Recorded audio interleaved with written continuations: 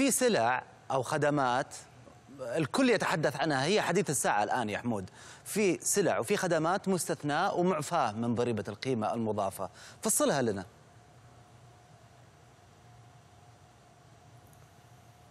نعم أستاذ علي. بالنسبة هناك آه، الإطار القانوني لضريبة القيمة المضافة ينطلق من اتفاقية خليجية ومن أنظمة محلية.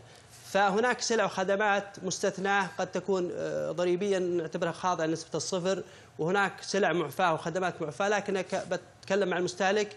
هذه السلع اللي بذكرها الآن لن يتم تحصيل عليها ضريبة بغض النظر عن المصطلح القانوني لن يتم عليها تحصيل ضريبة وهي مثلا التأجير السكني لا يحق لأي شخص يقوم بتاجير سكني لأي مواطن أو أي شخص مقيم أن يخضع للضريبه 5% أو 15% حاليا م. كذلك هناك بعض الخدمات المالية تقدمها البنوك وشركات التمويل لا يمكن أن تخضع لضريبة القيمه المضافه مثل آه، تشغيل حسابات الإيداع والادخار كذلك الإيداع والسحب من آه، الصراف أيضا آه، أي رسوم فوائد أو قروض أو فوائد قروض أو تمويل تقوم على هوامش ربح ضمنية كذلك لن تكون خاضعة لضريبة القيمه المضافه لأنها تقوم على هوامش ربح ضمنيه ولا يمكن تحديد سعرها أو سعر الضريبة فيها.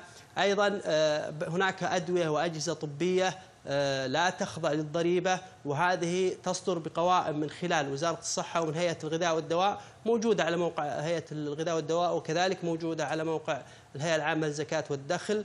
أيضا آه، هناك طبعا الصادرات إلى خارج آه، المملكة العربية السعودية كذلك لن تخضع للضريبة النقل الدولي إلى خارج المملكة العربية السعودية لن تخضع للضريبة أيضا صدر الأمر الملكي بأن تتحمل الدولة الضريبة عن المواطنين في خدمات الصحة مع القطاع اللي تقدمها الشركات القطاع الخاص وكذلك خدمات تعليمية اللي يقدمها المؤسسات الخاصة. أيضا إعفاء أو تحمل الدولة لضريبة القيمه المضافه على المسكن الأول للمواطن السعودي بما لا يزيد عن 850 ألف ريال.